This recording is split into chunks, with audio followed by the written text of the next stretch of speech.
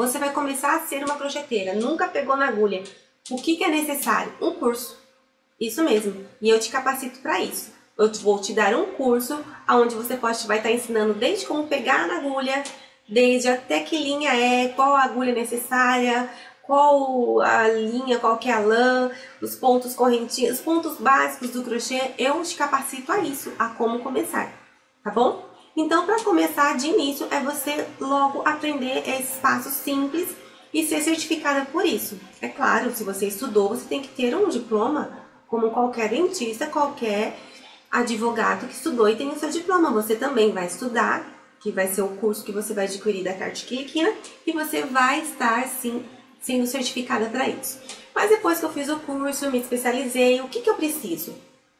O que, que eu preciso me capacitar para ser, para começar?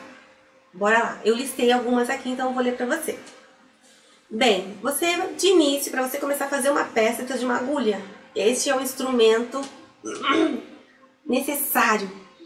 Primeiramente, uma agulha. Os instrumentos, uma agulha. Uma agulha de crochê pode ser aquela bem mais basiquinha de 1,75, que é o que você pode fazer roupa, que você pode fazer sapatinho, que você pode fazer bico de guardanapo. 2, toalhinha 1,75, tá?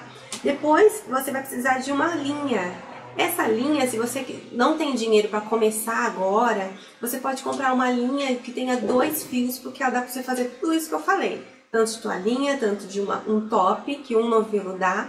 Você pode também fazer sapatinho também, com um novelo dá e sobra, você pode fazer vários. Então, com um, uma agulha e um novelo, você já pode começar. Celular, que é o que você está vendo, porque normalmente quase 90% das pessoas que assistem o canal da Arte Quiliquina vê por celular. Então, o celular você já tem, porque você vai precisar das suas redes sociais atualizadas e com foto. Isso mesmo, para você vender o seu trabalho. Você vai precisar de uma tesoura, de uma caneta e caderno ou a agenda do artesão. Vou deixar na descrição aonde você pode adquirir essa agenda do artesão, porque você vai poder escrever lá a sua meta para o mês que vem, o que você vendeu o mês passado, o que você quer melhorar, o telefone dos seus clientes, entendeu? Tudo você pode escrever na agenda do artesão. Cola de tecido, que também é importante, e um barbante se você for fazer é, tapete. Só que se você for fazer tapete, você não vai precisar da agulha 175 não, você vai precisar de uma agulha maior. Então vai ser uma agulha em torno de hum, 5 milímetros, tá bom? Então vamos lá. Se você for fazer tudo isso, tudo isso aqui, eu já coloquei o preço. Uma linha, uma linha, se você comprar da Texto São João, que é o nosso patrocinador, é R$ 4,99 um novelo, que é esse novelo aqui. Tá aberto já, tá? Mas esse novelo aqui, ó, R$ 4,99. Uma agulha 1,75 você vai pagar no mínimo R$ 1,50. Um celular você já tem mesmo, então... A tesoura em torno de 6,50. Você pode achar tesoura até de 2 reais, tá? Mas uma boa tá em torno de 6,50.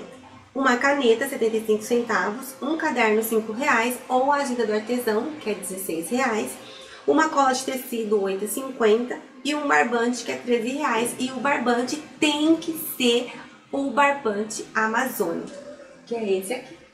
Deixa eu pegar ele já embalado. Barbante Amazônia da T de São João. As cores são é da Amazônia, são cores firmes, não desbota. Esse que é o princípio de tudo, tá bom? Material bom. Você adquire e você faz. Vamos lá. Quanto que eu gastei? Tudo isso. Eu comprei uma coisa de cada. Quanto que eu gastei? R$ 45,24. Isso é esse esse valorzinho, R$ 45,24 que você precisa para começar a ser uma estilista do crochê, uma artesã. Tá bom? Agora que você já sabe começar, bora lá! Vamos começar a esse processo do ano 2019 nos profissionalizando. Isso mesmo, nos tornando sim uma estilista do crochê. Bora lá? Ah, e compartilha, deixa seu comentário, é claro, porque através dele eu vou fazer os próximos vídeos. Compartilha, divulga a arte filipina. Bênção pra você. Até a próxima.